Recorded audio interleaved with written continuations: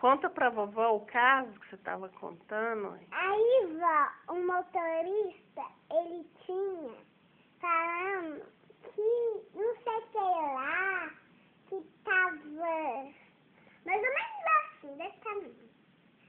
Hum. Aí, Que tinha- dia que foi isso?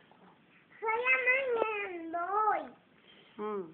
O que que aconteceu? Que a vovó... Vó, você não tem que chorar, você tem que escutar novo. Eu tô escutando, meu bem. Vovó, porque tá sujo aqui. De lavar, né? E aí, vó, um- uma placa assim, né? Bateu desse jeito.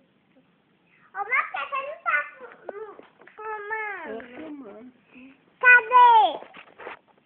Ah, agora você mexeu, não presta mais.